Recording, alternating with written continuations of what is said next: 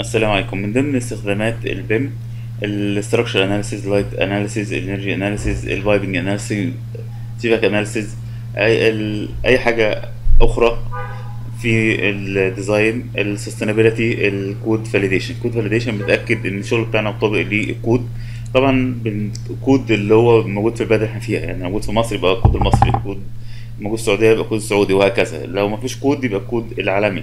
مثلا في الحريق مثلا NFPA وهكذا. فلازم تكون تعمل check على الشغل تعمل تحليل إنشائي.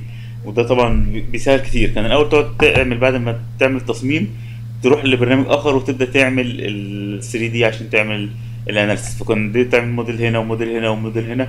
دلوقتي ال BIM بتاخد الموديل تدخله على أي برنامج من البرامج ديت يشتغل معاه على طول. مجرد تاخد الشغل وتدخله. يعني كان في الشغل مثلا عندنا عايزين نعمل آه تحليل مثلا lighting تحليل كذا.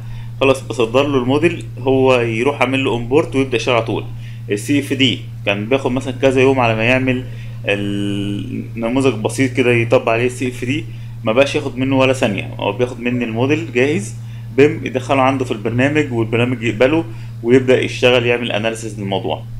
فأصبح الموضوع أسهل بكتير وده طبعا في مرحلة ال design ما عدا ال sustainability بتكمل معايا في ال design وفي ال construct ما ينفعش إن إحنا في ال construct ولسه شغالين في ال في ال light analysis وال structure analysis المفروض دول كلهم في مرحلة ال design بنعمل update برضو الموديل لو اكتشفنا مثلا في حاجة فيها مشكلة نبدأ نعدلها في مرحلة ال design